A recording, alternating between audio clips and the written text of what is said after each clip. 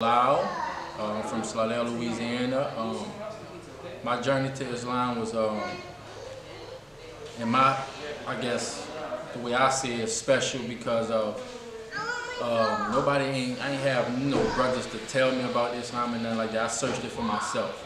I had a uh, time when I was uh, trying to have a, a, connection of my own with God. And, um, so I started um, searching all religions and studying all religions, from Christianity, Buddhism, Hinduism, voodoo, all type of stuff, African spirituality, everything to try to have my one-on-one connection with uh, God. Then I started studying Islam, and from then on, it been from there it been awesome actually. This masjid is a, um, in Slidell is small but big in spirit.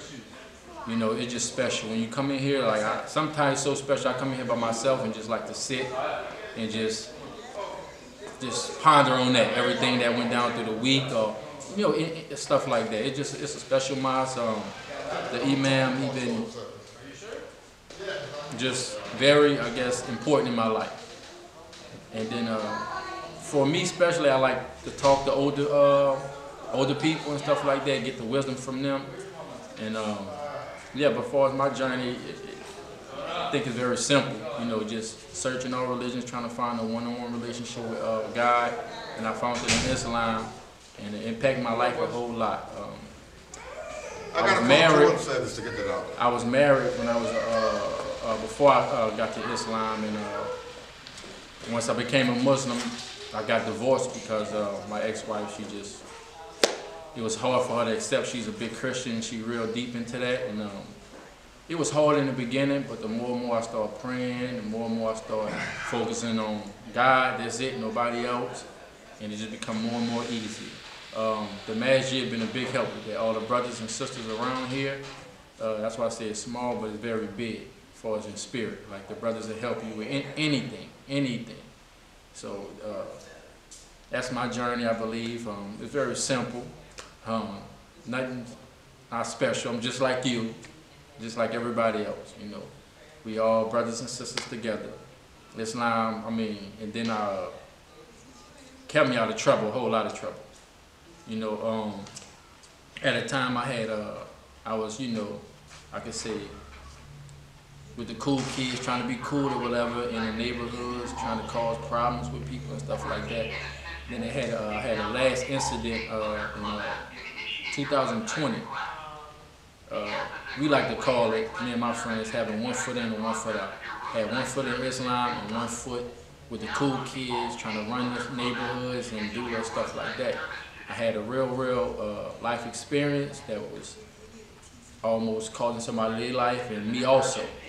And then that's when I, I sat in the house for like three, four days. Probably only ate two meals out that time.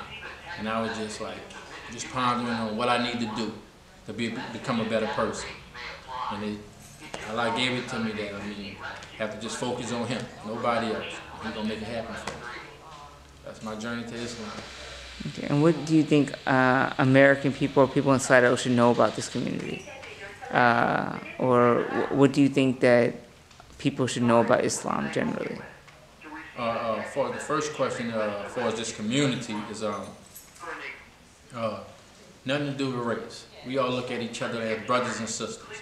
And I had a problem in the beginning, not trying to ask for help because I'm shy and, then I mean they basically like welcome me. They ask, oh, ask for help, ask for help. It's just like the love I'm getting from, you know, and it's genuine.